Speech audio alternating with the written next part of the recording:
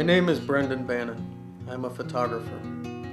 Do You See What I See is a UNHCR project that gave children living in refugee camps an opportunity to explore and explain their lives through photography and writing.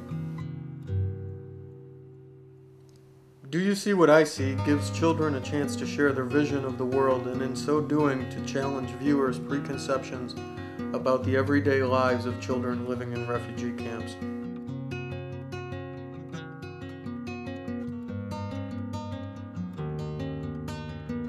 The photography assignments were designed to allow the kids to fully explore the range of human experience. Here we get a full picture of refugee life. People live in a small community in a small part of the world, but their experiences are not small. They're as expansive as the human experience is anywhere. They miss their parents when they don't see them. They love their siblings. They exercise, they cook, and sleep and dream. They flirt and fall in love, and they'll form families of their own, either in the refugee camp or in their home country if peace can be found. Life continues.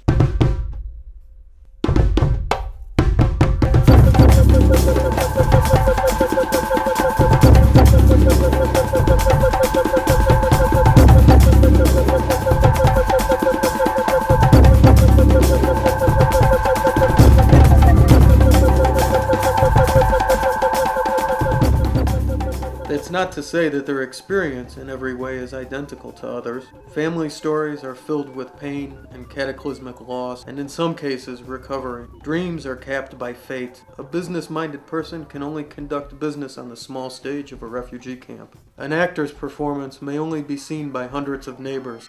They would like to be part of the world outside the fences of the camp. In this way, what makes them different also makes them the same as anyone on the other side of the fence.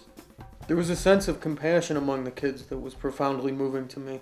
During one class session, one of the younger children, an orphan, broke down crying. His parents had been killed in the war. The response from the class was one of compassion, clear and total compassion. The room cried with him and didn't see his breakdown as weakness, but as an expression of something that they shared either in actuality or in dread.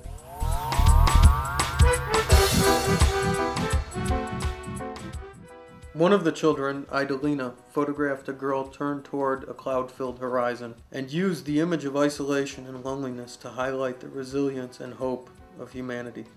She wrote, There was a girl of 10 years, and she felt lonely in this world. She may be little, but for her, it is her right to fight for happiness in the world. We are inundated with images of tragedy, but rarely do we see what happens after the initial moment that that tragedy strikes.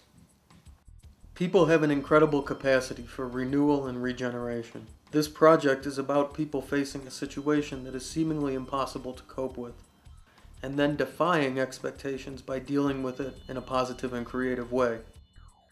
At the end of the course, the children gathered and said, Thank you for not only teaching us photography, but also for giving us a chance to understand ourselves better. We were able to talk to our parents for the first time about our past. Finally, we understood why and how we came to be refugee children. For the first time, the children opened a dialogue with their parents about the past, and they understood each other better.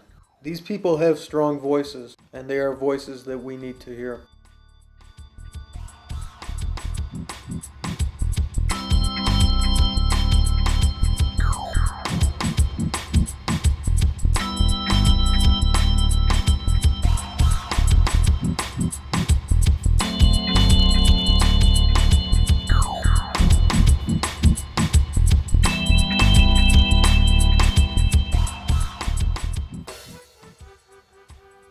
I said I'm a refugee, a victim of discrimination, violated.